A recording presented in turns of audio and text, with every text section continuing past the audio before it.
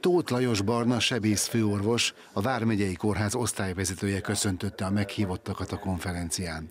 A szakember azt mondta, az egyik leggyakoribb beavatkozás a sérvek gyógyítása. A sebészetben a leggyakrabban operált betegség, vannak hasfali sérvek, lágyéksérvek, ugye az utóbbi 20 évben a sebészeti innovációkat követően óriási változás volt ezen betegségek ellátásában is, ugye áttevődött a gyógyítás a laparoszkópos irányba, és már a Nyíregyházi kórházban is, illetve hát a kórházak döntő többségében a sérveket jelentős százalékban laparoszkópos úton operáljuk, úgyhogy a mai egésznapos tudományos összevetelnek a különböző típusú sérvek gyógyítása lesz a témája. A konferencián jelen volt a Magyar Sebészeti Társaság elnöke is.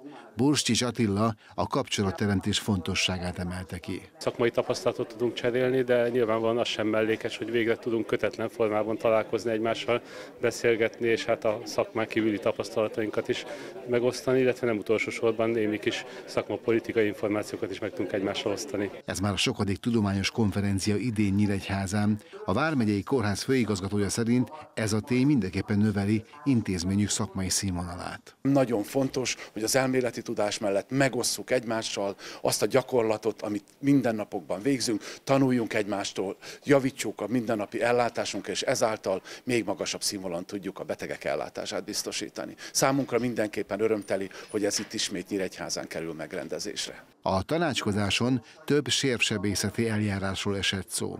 Ilyenek voltak többek között az up-to-date lágyéksébsebészet, valamint a laporoszkópiás beavatkozás.